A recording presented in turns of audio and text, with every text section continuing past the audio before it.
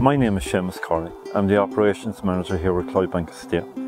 Cloybank Estate as an organisation was uh, uh, started in 2007 as a profit with purpose social entrepreneurial organisation whose remit was really to train young and old in the traditional skills of landscaping, gardening, uh, fisheries management, estate management, stonemasonry and community garden.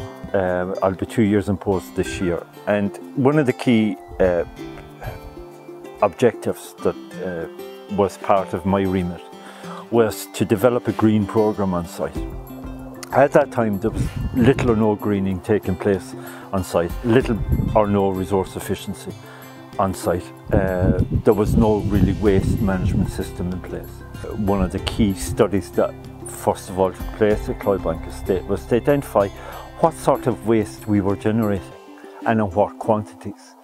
Uh, whether that be food waste, whether that be uh, uh, aluminium, uh, steel, whether that be cardboard paper, uh, whether that be glass, whether that be uh, clothing, textiles, whatever it might be.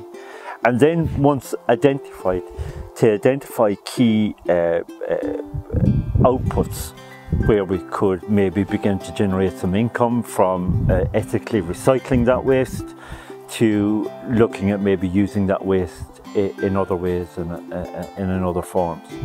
Uh, we are a year and a half in uh, to the programme and already we've made significant savings.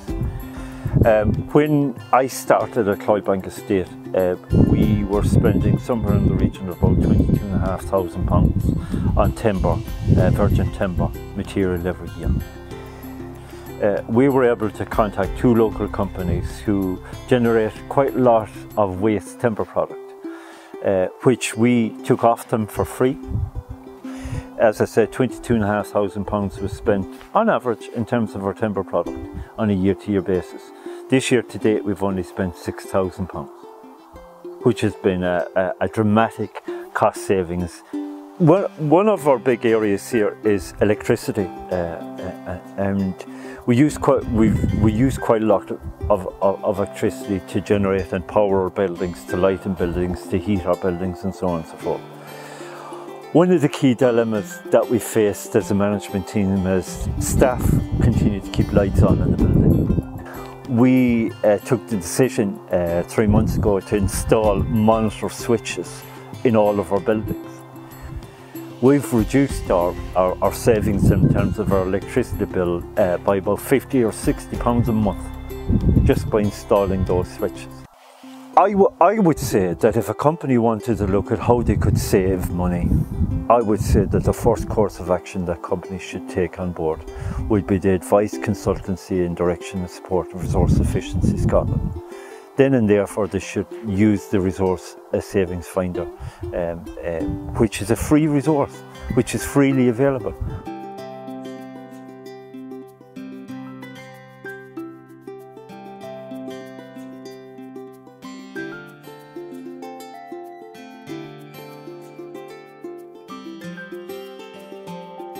Which will give you uh, both uh, direction in terms of where the savings can be made, but also support and actions to help you make those savings in those areas.